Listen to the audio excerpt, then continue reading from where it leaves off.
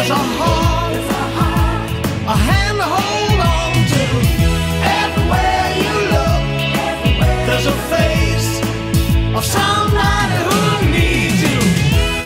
In the name of the Creator, the Redeemer, and the Holy Spirit, amen. Starting today, loving Creator, help me to live my life being myself and not trying to be someone else. Help me to love and accept everyone else the way you created them. Please give me wisdom enough, love enough, and courage enough to seek your way, your truth, and to follow it in all I do.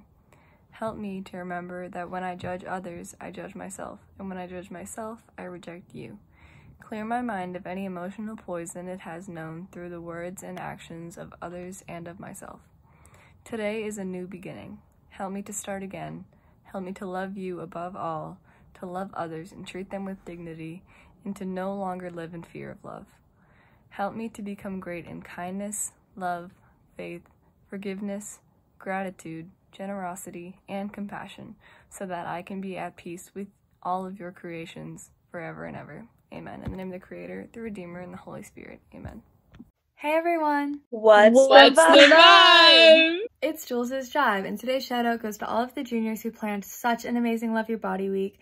I had so much fun. I know that everybody else did. So congratulations to you guys. You did such a good job and should be so proud of yourselves.